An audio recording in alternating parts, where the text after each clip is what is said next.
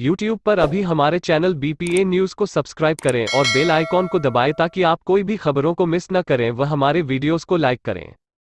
नमस्कार, आप देख रहे हैं बीपीए न्यूज़ देश का सच दिखाते हैं हम।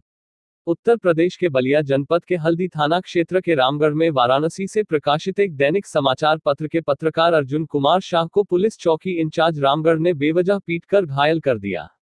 पीड़ित खुद का परिचय बताता रहा, लेकिन चौकी इंचार्ज तब तक नहीं रुके, जब तक पत्रकार ज़मीन पर गिर नहीं गया। बताते चले कि हल्दी थाना क्षेत्र के दुर्जनपुर निवासी पत्रकार अर्जुन शाह शुक्रवार की रात करीब 9 बजे बजे गंगापुर ढाले पर दो पक्षों के बीच हुए विवाद को कवरेज करने पहुँचे।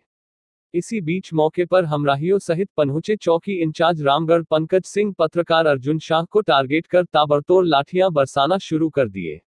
पीड़ित ने बताया कि ज़मीन पर गिरने के बाद भी उसे बेरहमी से पीटते रहे। आरोप है कि चौकी इंचार्ज ने अब और पत्रकारिता नहीं करने की धमकी भी दी। पीड़ित ने पुलिस कप्तान से लेकर पुलिस उप महानिरीक्षक तक न्याय का गुहार लगाते हुए चौकी इंचार्ज रामगढ़ के खिलाफ मुकदमा दर्ज कर कार्रवाई करने की मांग की है। ग्रामीण पत्रकार एसोसिएशन बैरिया के अध्यक्ष सुधीर सिंह के नेतृत्व में ग्रामीण पत्रकारों ने हल्दी एसओ सत्येंद्र कुमार राय से मिलकर पूरी घटना की जानकारी देने के साथ ही तत्काल चौकी इंचार्ज के खिलाफ कार्रवाई की मांग की। कहा कि जल्द से जल्द चौकी इंचार्ज के खिलाफ प्राथमिकी दर्ज कर कार्रवाई नहीं की गई तो बैरिया तहसील इकाई पुलिस कप्तान के कार्यालय पर धरना देंगे। इस मौके पर श्रीमन तिवारी, बसंत कुमार सिन्हा, अयोध्या प्रसाद हिंद, देवेंद्र तिवारी, रविंद्र मिश्रा, मंटू सिंह हरे राम यादव, अनिल सिंह, सुरेश मिश्रा, सुनील द्विवेदी, अजय पांडे आदि मौजूद रहे।